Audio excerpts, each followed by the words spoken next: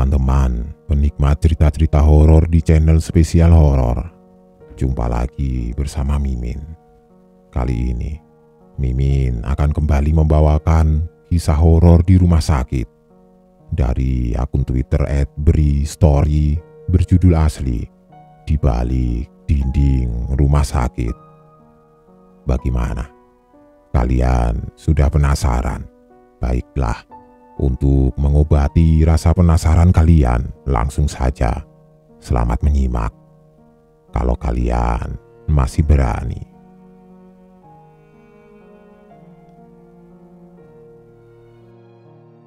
Melanjutkan cerita Rida di rumah sakit.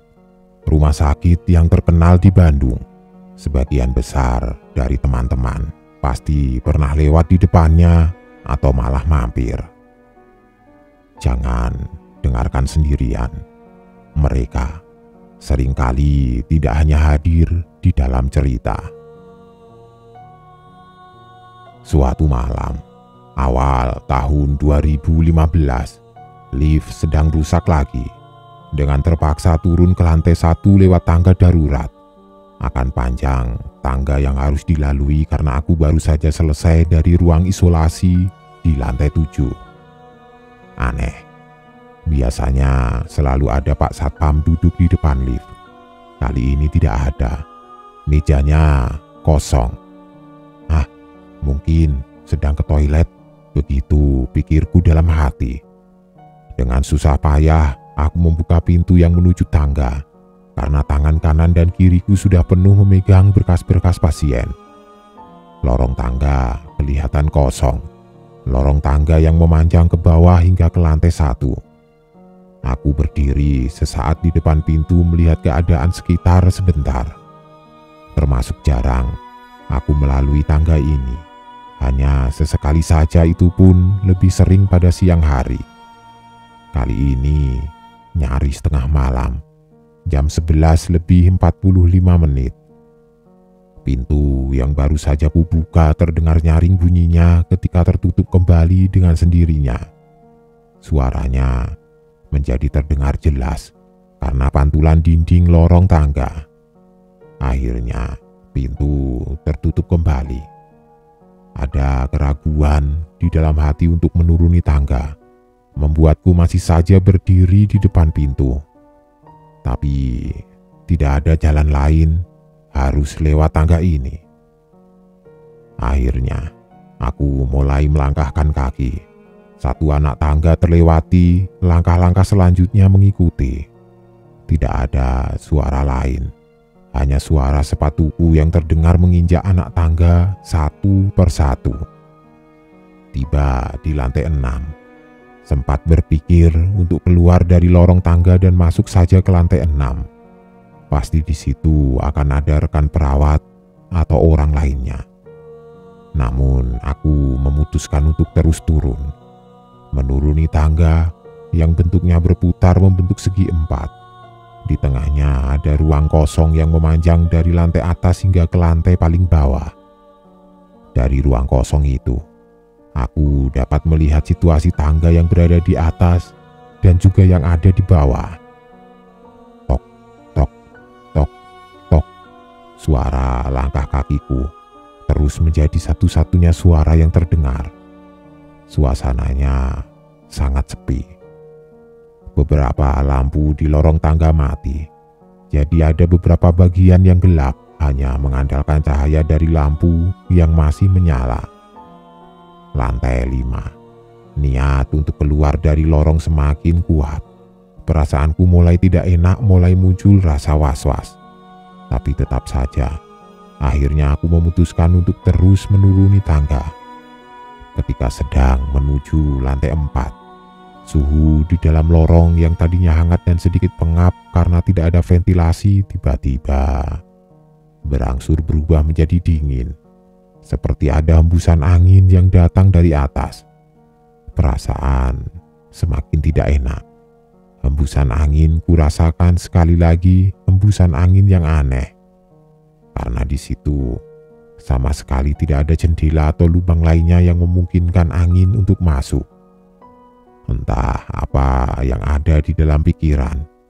Tiba-tiba aku tertarik untuk melihat ke atas, melihat ke bagian tangga yang sudah terlewati. Aku berhenti melangkah, lalu mengarahkan pandangan ke atas. Aku tidak melihat apa-apa kosong dan sepi. Tidak ada orang sama sekali.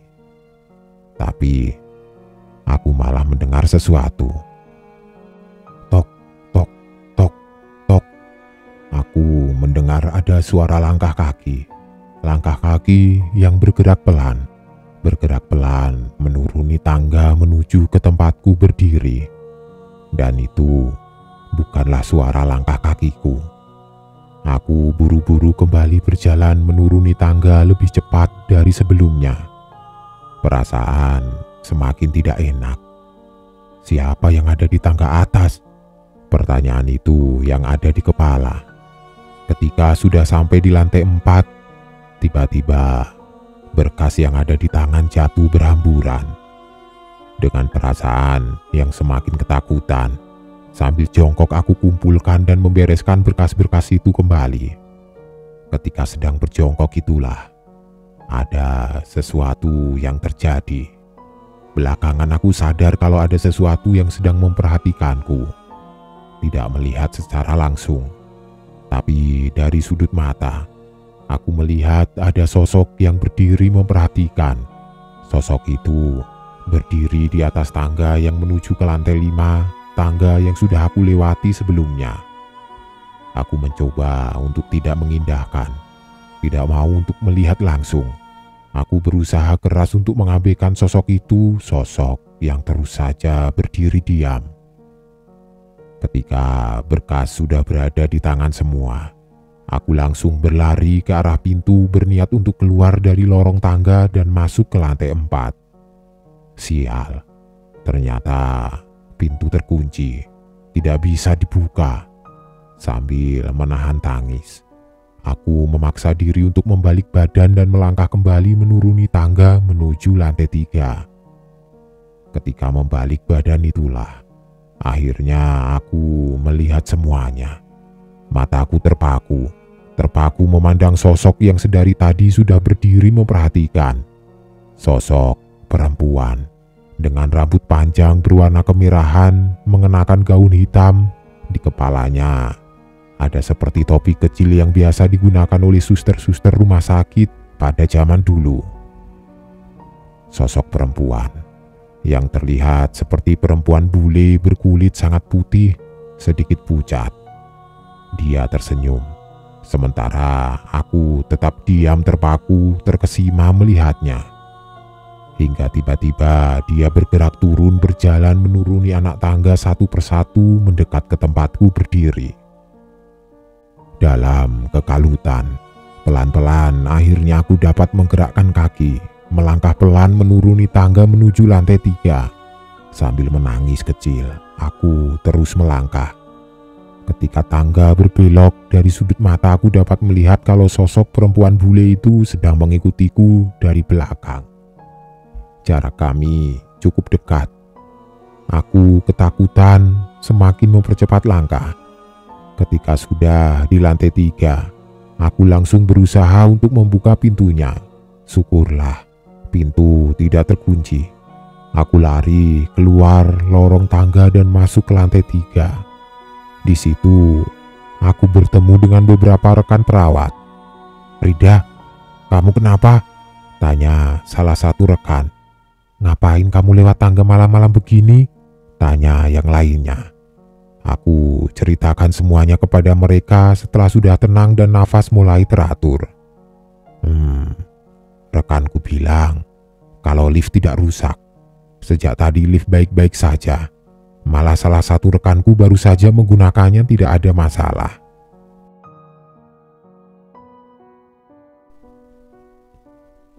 Suatu malam, masih di awal 2015, lamunanku terhenti ketika bel berbunyi. Bel ruangan nomor 14, isinya seorang ibu yang berumur sekitar 50 tahun. Aku bergegas menuju ruangan itu.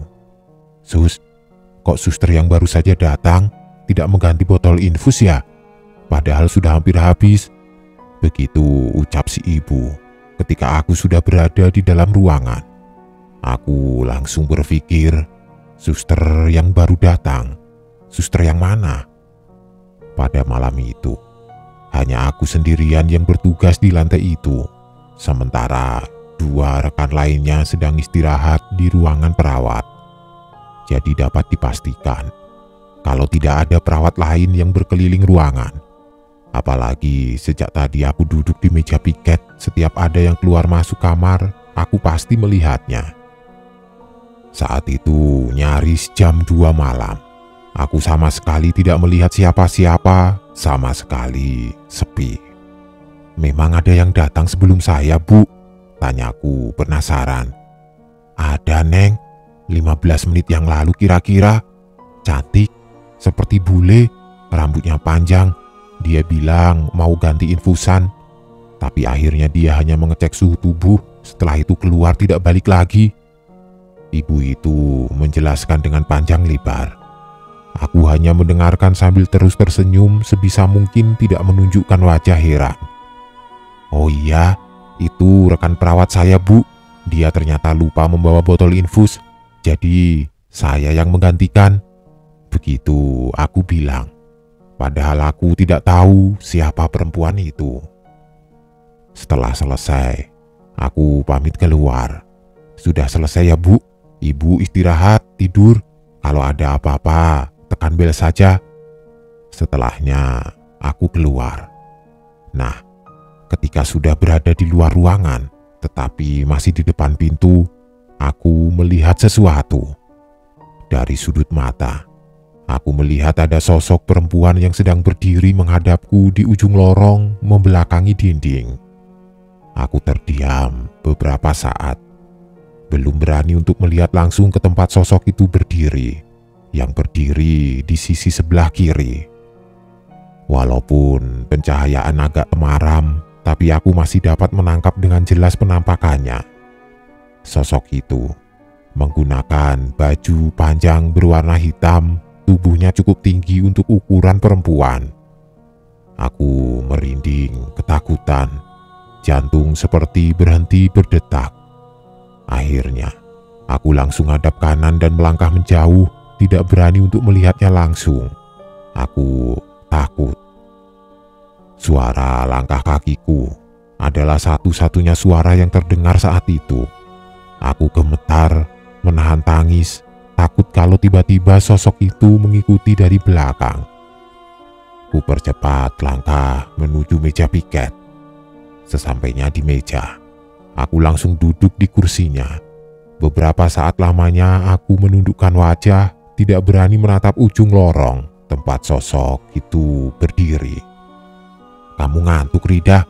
Kenapa menunduk terus? Suara suster kepala mengagetkanku. Aku benar-benar terkejut, tapi senang melihat kehadirannya yang tiba-tiba saja sudah berdiri di belakangku. Uh, tidak, Bu. Saya saya sedang... Hmm, aku kebingungan menjawab pertanyaannya. Tidak tahu harus bilang apa. Ya sudah, tidak apa-apa. Saya temani kamu deh. Ibu Berta sepertinya mengerti akan kebingunganku. Sambil terus tersenyum, dia kemudian duduk di sebelah. Sekilas, aku melirik ke ujung lorong. Terlihat kosong. Sosok itu sudah tidak ada lagi. Ibu Berta adalah suster kepala. Orangnya sangat baik dan selalu memberi perhatian lebih kepada anak buahnya. Aku yang saat itu baru beberapa bulan bekerja sangat terbantu olehnya. Tidak pernah sungkan, dia menjelaskan dan mengajarkan hal baru yang belum sepenuhnya aku mengerti. Kesabarannya seperti tidak ada berbatas, sangat pengertian dan keibuan. Pokoknya dia adalah sosok atasan yang nyaris sempurna. Ibu Berta sudah bekerja di rumah sakit ini hampir 30 tahun lamanya. Sudah mendekati masa pensiun. Makanya, dengan masa kerja yang sudah sedemikian lama, beliau pasti sudah mengenal kondisi dan situasi di sini. Termasuk sisi lain yang ada di balik dinding rumah sakit ini. Sisi lain yang pernah terjadi sisi lain yang menyimpan banyak misteri. Aku yakin Ibu Berta tahu semuanya. Itulah perkenalan awalku dengan sosok misterius itu. Sosok yang belakangan aku tahu kalau banyak yang menyebutnya sebagai suster Belanda. Sudah banyak orang yang pernah melihat penampakan suster ini. Entah itu para pasien ataupun orang-orang yang bekerja di rumah sakit. Nanti, kapan-kapan akan aku ceritakan kejadian yang lebih menakutkan lagi. Kejadian seram yang ada di rumah sakit ini di balik dinding rumah sakit. Banyak dari para insan tulus yang membaktikan hidupnya sebagai pekerja di rumah sakit memiliki beberapa pengalaman janggal, aneh, sampai menyeramkan yang mereka alami selama bekerja. Tentu saja, kejadian-kejadian seram itu sama sekali tidak menyurutkan niat mulia mereka sebagai petugas kesehatan. Namaku Vira. Sampai sekarang masih bekerja sebagai perawat di salah satu rumah sakit besar di Jakarta Pusat. Sejak kecil, memang sudah bercita-cita ingin menjadi perawat. Menurutku, perawat adalah salah satu profesi mulia, banyak membantu orang. Singkatnya, pada tahun 2010, aku diterima sebagai perawat di rumah sakit besar yang sudah tergolong tua letaknya di Jakarta Pusat. Ya, rumah sakit ini sangat besar, memiliki beberapa gedung luas dan tinggi. Awal-awal bekerja, kehidupan berjalan normal. Tentu saja, sebelum benar-benar dibolehkan untuk terjun langsung menangani pasien, aku sudah melewati tahap pelatihan dan pengenalan. Padahal sebelumnya, sudah mengecap pendidikan kesehatan dan keperawatan selama beberapa tahun. Semua prosesnya aku lalui dengan gembira. Semua tahapannya aku lewati dengan penilaian cukup bagus. Sampai akhirnya aku benar-benar dapat diperbolehkan untuk terjun langsung menangani pasien. Awal-awal bekerja juga, aku lebih banyak kebagian shift sore dan malam. Jarang sekali dapat shift pagi. Tapi tidak apa, tetap saja semuanya aku jalani dengan gembira Aku tidak bisa memungkiri, sebagai pekerja rumah sakit, aku dan teman-teman sering mengalami hal aneh dan menyeramkan. Banyak kejadian yang sangat tidak masuk logika. Kejadian yang sering sekali membuat kami sejenak menahan nafas kemudian menarik nafas panjang setelahnya. Takut? Iya. Tentu saja aku takut dengan kejadian-kejadian itu sampai detik ini. Salah satu kejadiannya akan aku ceritakan berikut ini. Peristiwa yang terjadi ketika aku baru beberapa minggu diterjunkan untuk membantu dokter UGD menangani pasien di awal tahun 2010. Malam itu, sekitar jam 1 lewat tengah malam, Burani, kepala perawat menyuruhku untuk segera ke ruang gawat darurat. Vira, kamu bantu dokter Doni di UGD ya? ada pasien korban kecelakaan. Begitu kata Burani. Aku langsung bergegas ke UGD. Benar saja. Di dalam ruangan, di salah satu tempat tidur terbaring seorang pasien dalam kondisi tidak sadarkan diri. Dokter Doni sudah berdiri di samping pasien, sibuk melakukan tindakan. Sesampainya di samping tempat tidur, aku langsung menyapa dokter Doni dan menanyakan apa saja yang harus aku lakukan. Kondisi pasien kritis, berjenis kelamin perempuan usia sekitar 30 tahun. Organ-organ vital penunjang hidup nyaris rusak seluruhnya. Tapi walaupun begitu, aku dan dokter Doni berusaha terus melakukan tindakan medis yang dibutuhkan. Dokter Doni dibantu oleh aku dan Ira, rekan perawat sejawat. Di dalam ruangan yang sekelilingnya ditutup tirai putih kami terus bekerja. Tapi setelah beberapa menit bekerja, aku baru sadar kalau ada satu orang lagi di dalam ruangan. Dia berdiri di samping tempat tidur bagian bawah, dekat kaki pasien. Seorang perempuan.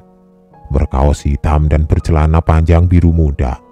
Berdiri diam seperti terus memperhatikan pasien yang masih terbaring dengan kondisi semakin kritis. Sambil membersihkan luka dan darah di tubuh pasien, sesekali aku melirik ke arah perempuan itu yang terus saja berdiri diam memperhatikan. Wajahnya pucat tanpa ekspresi seperti orang sangat kelelahan. Anehnya, Dokter Doni dan Ira seperti tidak menyadari akan kehadiran perempuan itu.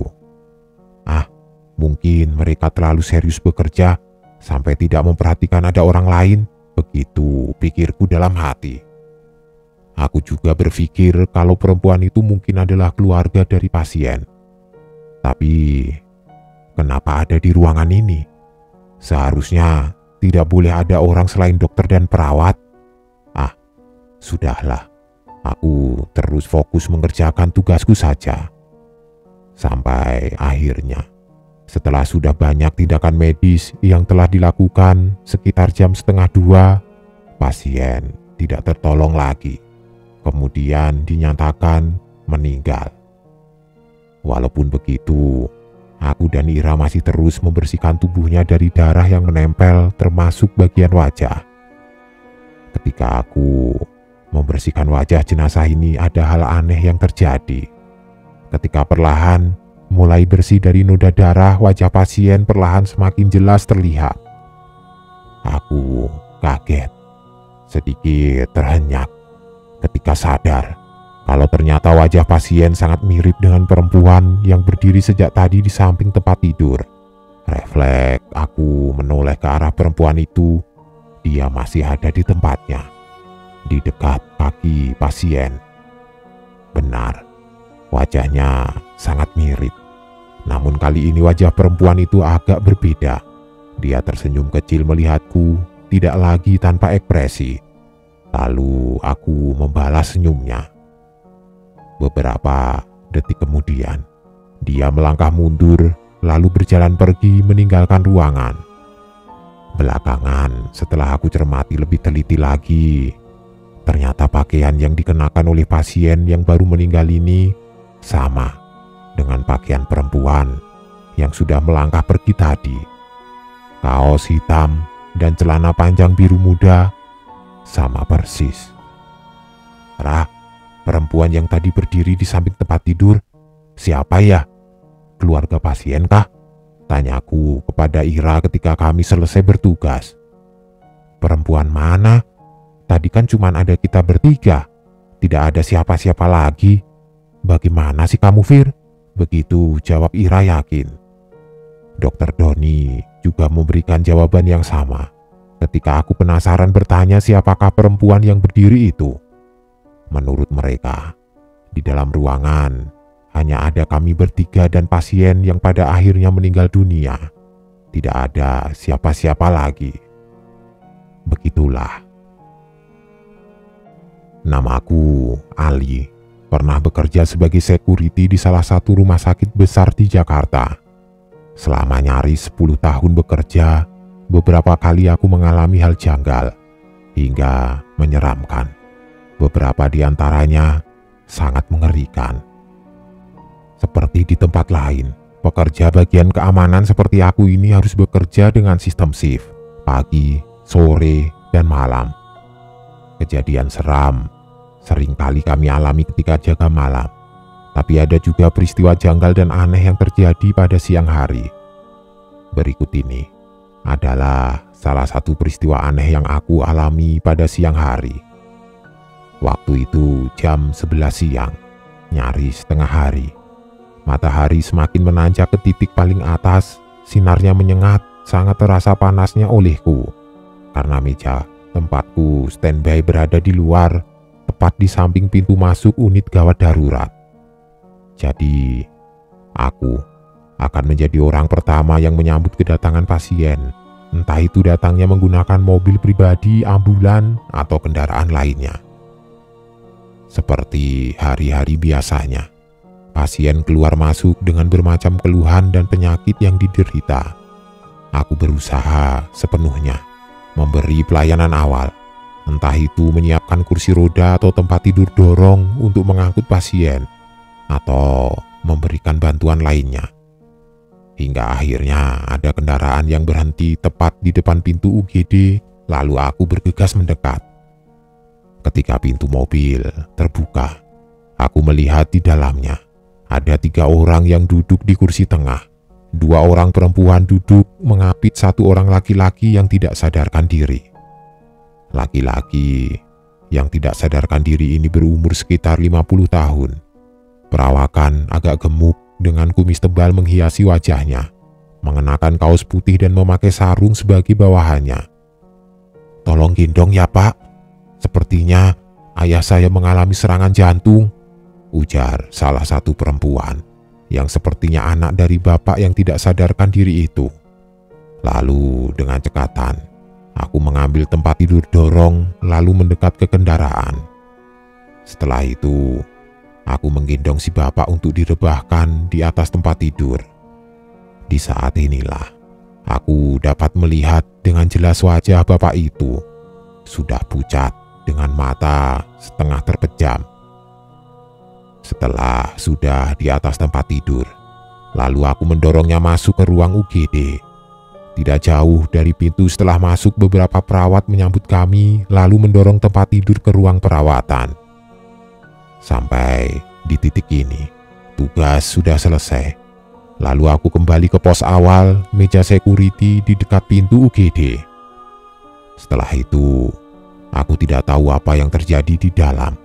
Yang pasti para dokter dan perawat pasti sedang menangani pasien itu dengan seksama. Sementara aku kembali menjalankan tugas menunggu kedatangan pasien berikutnya. Hari semakin siang. Sudah nyaris jam 12 tengah hari. Panas terik sinar matahari semakin membuat udara di luar menjadi gerah. Lalu lintas orang yang berlalu lalang semakin berkurang karena panasnya hari. Keadaan cukup sepi untuk ukuran siang hari. Ketika tiba-tiba pintu UGD yang berada di sebelah kananku terbuka, ada yang membukanya dari dalam.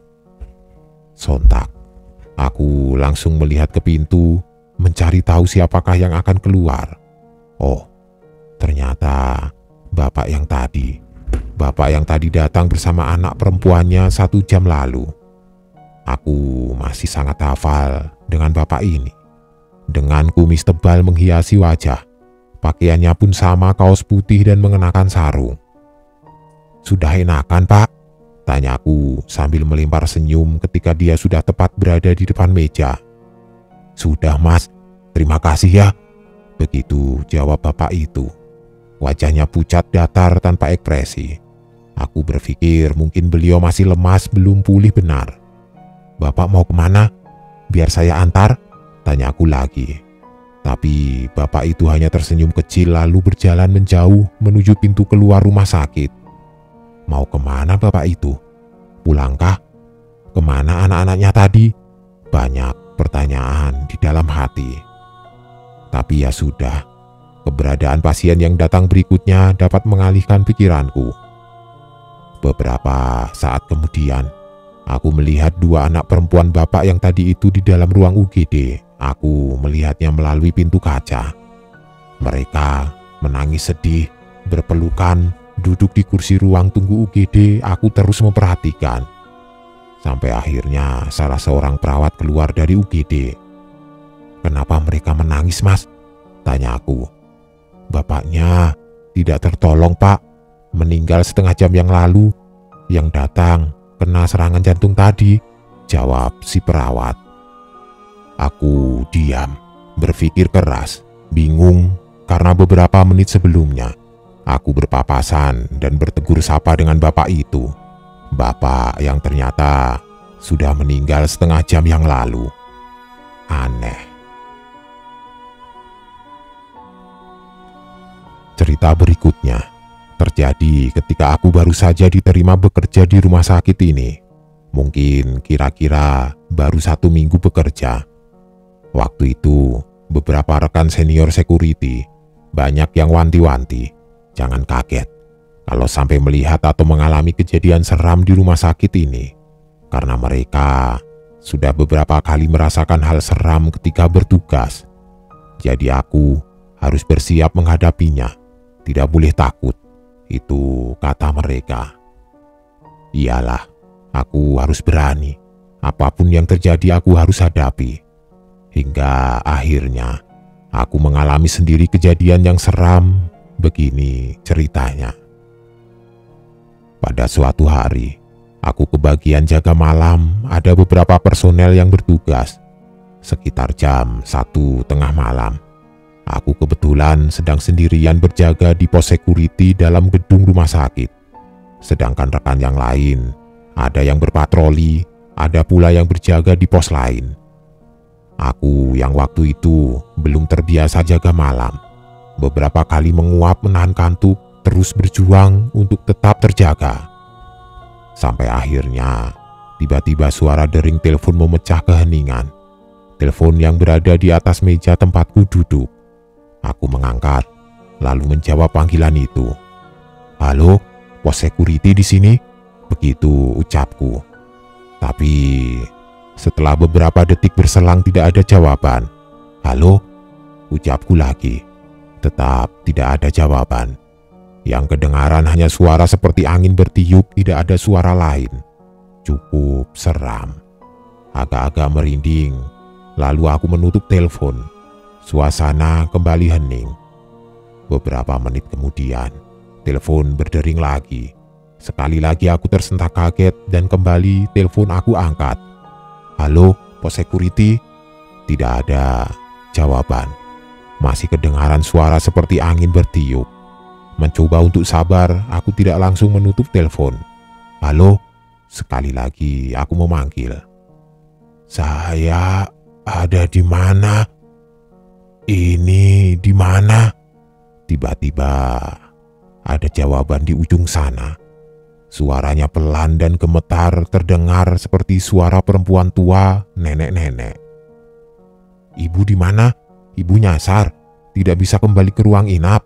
Tanya aku lagi. Aku yakin kalau itu sambungan internal karena muncul nomor extension pada layar pesawat telepon bukan nomor luar. Nomornya 213. Tapi aku belum tahu nomor extension itu nomor ruangan mana karena belum hafal. Aku tidak mendapat jawaban dari pertanyaanku di telepon tadi. Yang ada malah suara angin kembali mendominasi. Tiba-tiba Sambungan terputus lagi, seperti ditutup oleh si penelpon. Semakin bingung, itu telepon dari siapa? Aku harus mencari tahu, karena beberapa kali ada pasien rawat inap yang kesasar di dalam rumah sakit, tidak tahu jalan kembali ke ruang rawat inapnya. Beberapa saat lamanya, suasana kembali hening dan sepi. Ketika aku coba mencari tahu nomor attention dari ruangan mana tadi yang menelpon, tiba-tiba telepon kembali berdering. Aku melihat layarnya. Ternyata masih dari nomor yang sama 213. Aku yang masih memegang daftar nomor attention langsung mengangkat telepon. Halo, pos security? Ucapku lagi. Beberapa detik lamanya tidak ada jawaban.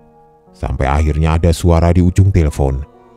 Tolong, tolong saya. Di sini gelap, dingin. Saya di mana ini? Kembali suara dari orang yang sama.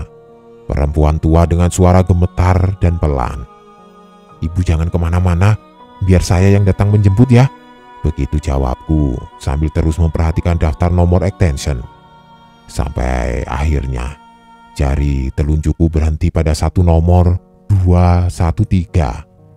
Aku sedikit terhenyak, kaget, karena 213 adalah nomor extension kamar jenazah. Saya di mana ini? Di sini gelap. Perempuan tua di ujung telepon itu kembali mengulangi kalimat yang sama. Ibu tunggu di situ ya, jangan ke mana-mana. Saya akan datang menjemput. Begitu jawabku dengan nada agak ragu. Kemudian sambungan telepon kembali terputus. Kamar jenazah. Ngapain ibu itu di tengah malam sampai ke kamar jenazah? Mau tidak mau, suka tidak suka, aku harus mendatangi kamar jenazah. Aku harus menganggap kalau memang benar ibu itu kesasar sampai ke sana. Lampu senter di tangan, tidak lupa membawa kunci kamar jenazah. Lalu aku berjalan menuju kamar yang letaknya paling ujung dan paling sudut wilayah rumah sakit. Karena memang sudah tengah malam, suasana di rumah sakit sangat sepi dan hening. Hanya satu dua perawat yang hilir mudik keluar masuk ruangan. Semakin ke ujung, suasana semakin sepi. Beberapa lorong panjang aku lalui. Beberapa kali juga harus berbelok ke kanan dan ke kiri. Memang cukup jauh perjalanan yang harus ditempuh untuk ke kamar mayat. Karena ya itu tadi, letaknya memang di paling ujung. Akhirnya, Aku sampai di lorong panjang terakhir. Lorong selasar panjang yang di ujungnya terletak kamar jenazah. Lorong terbuka yang atapnya disangga oleh tiang-tiang kayu. Sangat hening. Hanya suara langkah kakiku saja yang terdengar. Pintu kamar jenazah sudah semakin dekat. Pintu yang kelihatan temaram karena hanya diterangi oleh satu bola lampu yang tidak terlalu terang sinarnya.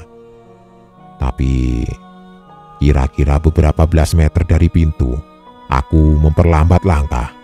Aku melihat kalau ternyata pintu kamar jenazah setengah terbuka. Jadi kamar jenazah ini memiliki dua pintu menjadi satu kanan dan kiri. Nah, pintu yang sebelah kiri ini terbuka, sedangkan pintu kanan tertutup. Pintu kamar ini biasanya selalu dalam keadaan tertutup dan terkunci. Tapi walaupun begitu, Aku harus tetap berjalan mendekat, harus terus melangkah meskipun sudah berkecamuk pikiran dan perasaan. Aku terus berjalan. Sampai akhirnya, beberapa meter sebelum benar-benar sampai pintu aku berhenti, aku melihat sesuatu. Dalam remangnya cahaya, karena salah satu pintu dalam keadaan terbuka, aku melihat ada sosok yang sedang berdiri di dalam kamar jenazah. Sepertinya sosok perempuan dengan rambut panjang, mengenakan baju terusan panjang berwarna gelap. Bu, aku coba memanggil, tapi tidak ada jawaban. Malah kemudian, sosok itu bergerak ke kiri lalu menghilang dari pandangan. Aku kembali melangkahkan kaki, kemudian menyalakan lampu senter untuk membantu penerangan. Sesampainya di pintu yang dalam keadaan setengah terbuka, aku kembali coba memanggil. Bu, ibu ada di dalam. Hening, tidak ada jawaban. Agak sedikit mendorong pintu lalu aku melangkah masuk. Bau khas, kamar mayat, menjadi aroma yang tercium pertama kali. Dalam gelap, aku masih dapat melihat satu tempat tidur besi yang di atasnya terbaring satu jenazah tertutup kain putih. Cahaya lampu senter, kuarahkan ke setiap sudut ruangan, kosong. Tidak ada orang sama sekali kecuali jenazah yang sedang terbaring di hadapan. Sepertinya hanya kami berdua yang ada di ruangan gelap itu, di dalam kamar jenazah itu. Sampai akhirnya ada sesuatu yang membuatku nyaris pingsan, membuat jantungku seakan berhenti berdetak. Aku amat sangat ketakutan. Ketika tiba-tiba Jenazah yang ada di hadapan perlahan mulai bergerak-gerak. Perlahan jenazah itu seperti hendak mengubah posisi dari terbaring menjadi duduk. Jenazah itu bangkit dari baringan dengan masih berbalut kain putih menutup seluruh tubuhnya. Aku hanya bisa diam, tidak bisa menggerakkan kaki seperti terhipnotis hanya bisa memandang pergerakan jenazah hingga akhirnya benar-benar berposisi duduk. Duduk Jenazah itu duduk dengan masih berbalut kain putih. Saya di mana? Tiba-tiba suara itu kembali terdengar. Pelan. Entah ada tenaga dari mana. Akhirnya aku bisa melangkahkan kaki lalu berlari keluar meninggalkan kamar jenazah. Pengalaman yang amat sangat menyeramkan.